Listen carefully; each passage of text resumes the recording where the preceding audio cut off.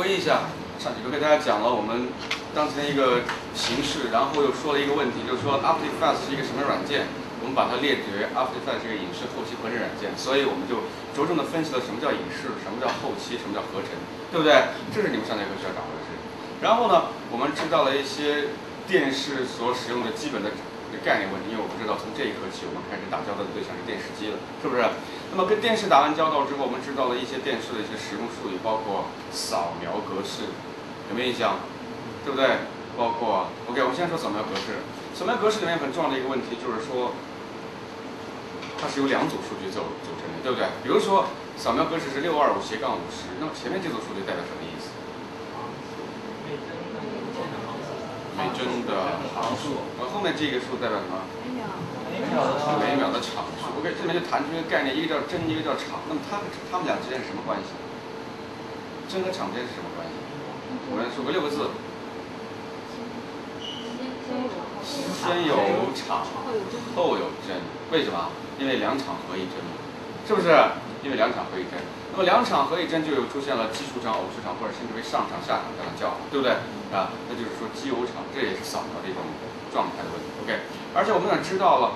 如果一些 DV 素材拍好的素材，我们放到电脑里面导出来去看的话，经常会看到一些毛刺。实际上，我们现在知道一些毛刺的东西就叫做，就叫做场，对不对？这叫做场。那么，为什么能够在电脑上看到，而且电视上就不会看到？因为电脑是主行的，电视是隔行，对不对？所以当时扫描形式不一样，就可以看到这个场。看到那个场之后，那么我们知道怎么样去在。导入的时候把它过滤掉，那也就说说我们在 After Effects 里面导入素材的时候，需要实际上是做一个工作的。那么这个素材一般需要做一什么工作？是不是解释素材啊？对不对？OK，非常好，解释素材。那解释素材实际上有几个项目，大家想象都可以记得住。第一个叫做解释什么？二通道。第二个叫做解释什么？帧的速率，对不对？第三个解释什么？场的问题，是不是？场的问题。第四个解释什么？像素高宽比，对不对？所以又谈到了一个很重要的问题，就是像素高宽比也是我们视频中需要注注意的一个概念。那么像素高宽比里面重点的问题是在什么问题？就知道我们知道很多设备它的像素高宽比并不是一比一的，除了电脑上我们矩形像素是一比一以外，实际上电视上并不是，电视上是多少？一点零七，对不对？低一点零七左右。那么我们说的这个像素高宽比跟它的尺幅高宽比还不一样，对不对？电视画面的比例是多少？标清电视的画面比例是多少？四比三。HDTV 高清电视多少？十六比九，对不对？啊，等等这样的像，我们知道这些东西，知道了这个尺幅的高光比，也知道了像素高光比。我们知道像素高光比这个很重要。如果我们不太注意这个问题的话，有可能做出来东西会变形，是不是啊？因为像素的尺度不一样，我们需要在来源、输出方面都对它进行一些设置。然后上节课我们又做了一个例子，例例子什么例子？就是我们通过一个二维的简单练习，知道了。After Effects 对于二维操作而言，实际上就是对一个层的 transform 属性进行了一些设置。这设置实际上就是五个属性的变化，有还有印象。第一个叫做作用点，第二叫做位移，第三个缩放，第四个旋转，第五个不透明度，对不对？实际上你会发现很多变化都围绕这个，是不是？这就是我们上节课重点的这里来讲到的。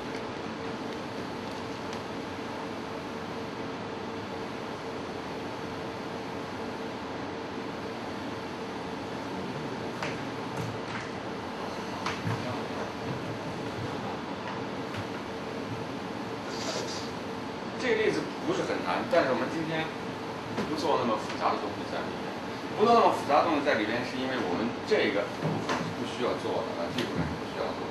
这部分为什么不需要做呢？把这个效果记下来，啊，你把这个效果记下来。因为这个效果我们现在用层方式做，实际上没有太大意义在里面，没有太大意义在。我们记下来这个效果，但是不去做它，呃，主要一个原因就是因为我们现在有更好的方法去实现，明白吗？明白吗？但是通过知识点的学习的话，你必须知道一个知识点的环节，所以我们把它拿出来讲一下这个知识点的环节就可以了。然后其他东西我们都不讲了，就是这个效果。当然，如果你愿意做的话，你可以看我怎么去做，但是你可以你可以我们重点可以做一下这个案例，或者是别的案例。重点这里面有两个知识点要给大家讲，一个是关于这个多层的操作，怎么样多层的操作；再一个，Photoshop 的 PSD 跟 After Effects 的结合。这一个是第三个合成嵌套啊，这是三个重要的知识点在这个案例里面，所以你把这三个知识点掌握掉，这个案例就算拿下，明白了没有？所以其他东西不要去管它啊，其他东西不要去管它。第一个知识点我们说什么？叫做 Photoshop 图层的应用，Photoshop PSD 文件在 After Effects 怎么去使用？第二个，我们说多层怎么操作，就是同时操作很多个图层的话，有没有好的办法？实际上你会发现很简单。第三个说图层嵌套，图层嵌套什么意思？你会发现这一个大的动画实际上是由两个小动画组成，是不是？是由两个小动画组成，这是一个独立的，其实这也是相对独立的。那就是说我们能不能把很多个相对独立的动画组合在一起，让它成为一个单独的动画，这叫合成嵌套。我们重点讲完这三个技术。好，一个一个来看，一个一个看。我们先来看第一个，呃，我选这个。那你怎么办呢？我们说，如果你要看到这个案例，呃，如果你要看到这个案例，我们先再来看一下啊。如果我们看到这个案例，我们就先来分析这一部分的怎么去做。我们先来看这个效果怎么来做，这个效果怎么来做。这个效果你可以看到每一个字母都变得非常的，每一个字母是在逐个递减，是不是？来告诉我，每一个字母的变化属性都是哪些属性？实际上，你单独考虑一个字母，就考虑一个字母摘出来，你看，实际上这个字母做了一个什么动画？一个大空缩放，是不是一个缩放和一个不透明度？是不是一个缩放一个不透明？没别的了吧？是不是没有别的了？这这个东西很简单，你自己看，单独拿一个是不是很好做？对，是不是拿出一个字母来非非常好做？做一个不透明度，然后淡淡入，然后再做一个大缩放就 OK 了，没错吧？非常不错。可是我们现在问的一个就是它是一个单词啊，它是一个单词。这就是第四句话啊，这个单词的意思，不管你怎么，就说你去考虑它，它是一个单词的话，你必须一个字母一个字母去做，是不是一个字母一个字母去做？那我们来考虑一下，就我们现在所学的知识点，当然我们还不知道字怎么去处理，我们还不知道 After 的字效是怎么去做的。对现在目前情况而言，我们要做的话，每个字母是不是必须读一层？你考虑，是不是这个样子？每个字母是不是必须独立一层？OK，这个记得了吧？没错，每个字母是必须独立一层的，因为你没办法对一个层去做这样的局部变化，是不是？我们得做独立的。现在我们因为还没有涉及后面知识点啊，所以你现在只拿自己的知识点来，现在已有的知识点来分析它，所以你说必须得做。那么好，如果一个字一个字来做，我们的问题问题是不是得把它对齐，得排列？是不是？我得一个字做一层，一个字做一层，还得把它对齐和排列，是不是？那这样的话就给我们造成一些小的麻烦。但实际上我可以告诉你，有一个特别好的方法去解决它。那么这个方法就是关于什么呢？就是关于层的这个使用。我们在 Photoshop 里处理这个层是不是非常简单？我们在 Photoshop 里可不可以做一个这样的字出来？就是每个字母做一层，然后把它分排列好，做好。你在 After Effects 的时候对齐很复杂，很很很讨厌，还得去对呀，还得找位置，是不是？我们 Photoshop 做好，所以我们大家看一下。实际上我已经有一个文件了，这个文件就是什么文件？就是 Visual，就是这个这个 PSD。那么它既然是 PSD，毫无疑问，我们就知道在导入的时候需要有一个环节需要注意。谁能谁能谁能什么一个环节需要注意啊？就 PSD，我们记得在导入时他会问你要拼合图层还是要合并图层？那我可以告诉你，现在这个层是什么回事？我们打开来看一下就知道。OK，我们选择打开 PSD，所以他会问你，你是要拼合图层还是要选择图层？我们看这个图层有多少，看到没有？每一个字母是独立的一层，反应过来了没有？啊，你说老师我明白了，你的意思就是把这个词，把这个图打开十，一二三四五，一二二四六八十，打开十一遍或者十四遍，十四遍，每次打开一次放一个层，每次打开放一个，是不是这样？不，这样不是太麻烦了，显得有点弱智，是不是？我们也不要这样去做。就是说，首先我告诉你，就是说你可以选择层去这样导，但是没意义。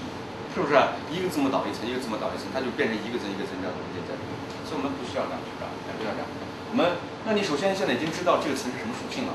这个 PSD 文件实际上是一个字母排好了，每个字母都是独立一层，是不是这样子的？是不是可以看得出来？对不对？我们不用打开 Photoshop 也可以看得到，对不对？每个层都是独立的。那我们是不是要合并层？可是合并层就变成一个层了，一个层放大和缩小就变成整体放大和整体缩小了，是不是这个道理？那现在就面临到既不能这样也不能那样的话，那我们就不选择这个方式，不选择这个方式，那我们就不用这个方式。为什么不用这个方式？在导入上呢？那导入的时候你要注意这样一个细节：当你选择 v 这个 PSD 的时候，你会发现在 Import As 里边有一个属性值你没有注意到，就是说 Import As 就是把它作为什么导入？默认情况下都是作为一个 footage，我们称为脚本，就是素材脚本来导入，是不是？默认情况下都是作为好多所有图片，所有的东西都是作为素素材脚本来实现。可是我们发现，除了素材脚本之外，还可以选择另外的一些属性，比如说，我们可以把它当做一个 composition 什么东西合成，是不是？我们是不是信念？我们可以把它当做一个合成导入。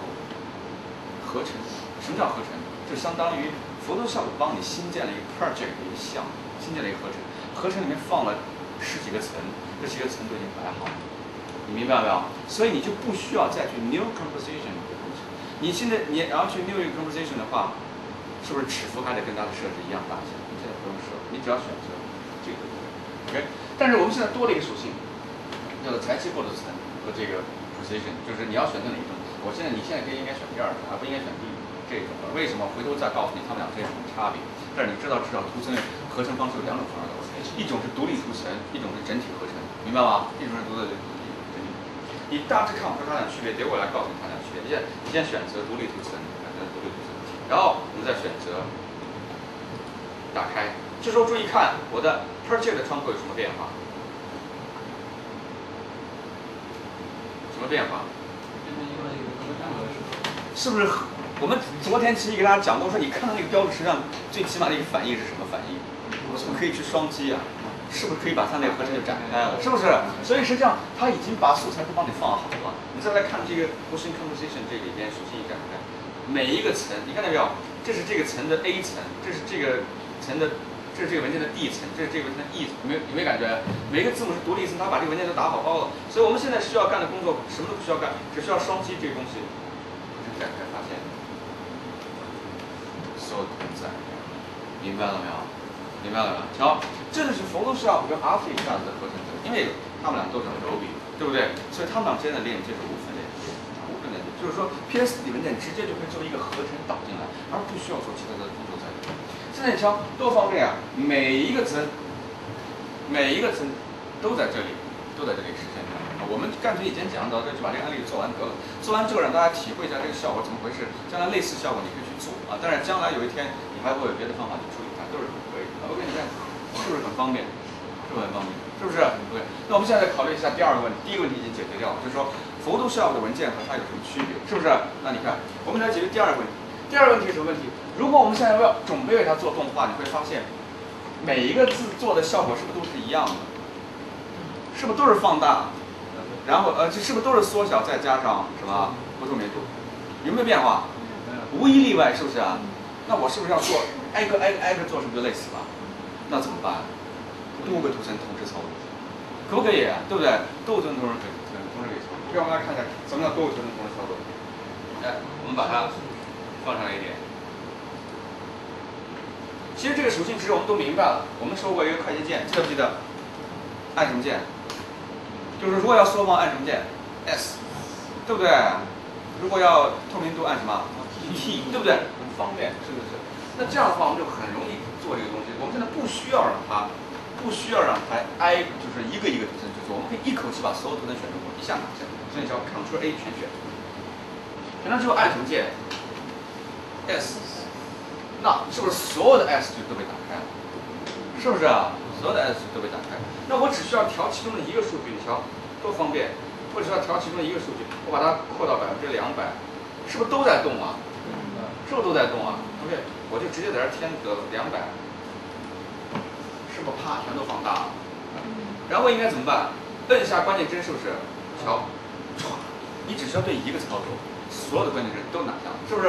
然后下一步该干什么？Shift T，透明，是不是啊？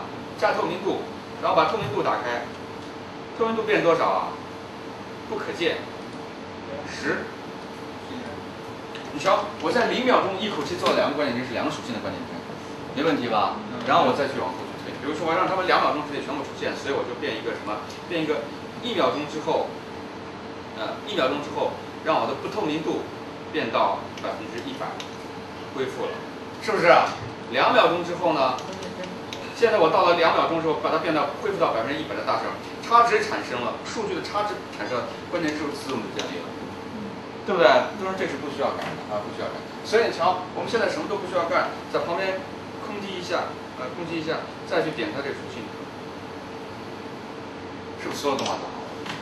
对不对？是不是所有动画都好？太简单了，可是我们现在最后一个观点，我们最后一个特点是什么？我们发现所有的层实际上是位置，实际上进入画面的时间不一样，对不对？是不是记住了？它是依次的，而不是整体的，对不对？依次要跟怎么办？往后移一下。哎，往后移一下，每个层依次往后挪一点，是不是就可以了？是不是依次往后挪一点就可以了？所以你瞧，道理特别的简单。那我们现在把它们都选中。啊，选中之后，你看我再教你们一个键，也是快捷键识的，就是就是数字，呃，就是一键，就是键盘上一前面那个键，就是小飘号那个键，你点一下看看。啊，看到什么效果？看到没有？全部展开，全部收起，是不是啊？是吧？全部展开，全部收，这对你管理工作区域是不是很方便？对不对？一前面这个键啊，一前面这个键，那么啪，把它全部收起来。收起来之后，我们再考虑一个问题，就是把它挨个往后推，挨个往后退。怎么样挨个往后退呢？啊，挨个往后退，空击一下，把层让开，一个一个来。比如说先从 V 开始，那么 V 应该顶头在不动，那么这个层就应该往后挪一点，这个层再往后挪一点，这个层再往后挪一点，这个层再往后挪一点，是不是就可以这样做下来？OK，你看我前面已经做了几个层了，一二三四五个图层，你就先看这五个图层的动画，是不是就没有问任何问题？先看这五个字母的，是不是没没错啊？对不对？这五个字母是不是就没错了？对不对？你所需要干的就是一个一个把它排好，对不对？如果你想精确把它排位，应该怎么去排？Go to time，对不对？对不对？别 Go to time 了，这个人然后精确排位不应该这样去排。让我们看一下怎么样精确排位。我可能直接恢复一下。好，如果我要精确排位什么？现在你不能啪啪啪手推，你手推的话肯定是中间有有有差距的，对不对？不稳，中间有快有的慢，不太好看。所以精确对位很重要。怎么样精确对位？注意看，这儿有一个键，按一下啊，鼠标放到这儿来，看一下这儿，这儿有一个键啊，这儿有一个键。这个键是用来做什么？这个键是用来隐含另外一个条板的。你打开一下它，就可以看到，这是一个被展开的一个新的条板啊，展开的一个条板。展开这个条板里面属性值特别的简单啊，一共有四个属性值：in、out、持续时间还有速率。看到没有啊？持续时间和速率。in out 是什么意思？就是进入画面的时间和出去画面时间。这个你一定要记，这是在视频里面是最长的术语，就是入点和出点。是不是？入点出点。in 就是进入画面时间，out 是出去。你看他们现在进入画面时间统一都是零秒，我们只需要改动这个时间值就可以了，它是自动脑不退了。所以你瞧，这个都不用改，持续时间都是十秒钟。这是它的速率，速率是什么意思？就是说你想让这个片子快速播放还是慢速播放？明白了没有？那么它的值是这样的，它是百分之五十是快，加快加快，百分之五十就是原来速度的一倍，因为缩短了嘛，它播放速度速度就变快了。那么百分之两百呢，变相当于是慢动作，明白了没有？那这个很好理解。所以你拍一个一个影片，你想让它快一点或者慢一点，你都会通过这个来处理它，对不对？速率上来处理它。我们让这个层不动。这个层呢，我们每隔七帧，或者每每隔八帧向后推一秒，七帧或者八帧，你算一下，七帧，那么这个地方就应该输什么？Go to time，你一点是不是 Go to time 就弹出来了？嗯，是不是啊？啊，一点，你就直接输什么？七，OK。所以你看，这个层是不是自动向后退了一个？是不是？那么第二第二层是不是也是一样的？应该输什么？十四。第三个呢？二十一，第四个呢？有二十八帧吗？但它自动就进位了，看看到没有？你不用去管它了，在一百以九十九以内，你都可以这样去干。四七二十八，五七多少？三十五。为什么一九十九以内都可以这么干？因为你一旦说到幺零零，就就代表什么意思了？啊，就代表一秒零帧了，是不是啊？是不是？一九十九以内是不是都可以这样干？你再往上衬就可以了。对，那这样的话，刚刚多少？三十五，这个多少？四十二。四十二，然后四十九，然后六，然后六，六十四，六十三吧？六十三，还没我数学，我一直以为我数学不好。多少？七十，七十吧。七，七十七。没了。没了对吧？我们把时间线放到这地方，把时间线放到这儿，然后按了一个 N 是什么意思？还记得吗？记得。是不把工作区截到这个地方了？所以你再去选，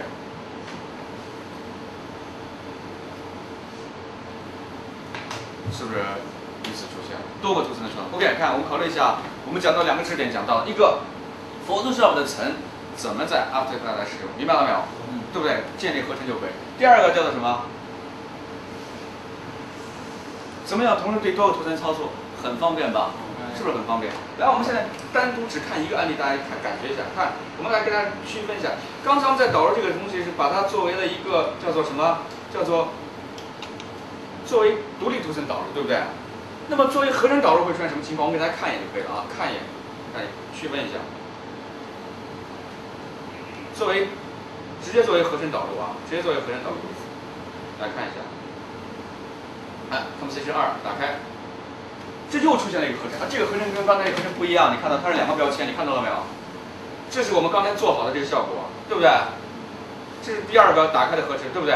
我们可以在一个里面做很多个合成，你不要，对不对？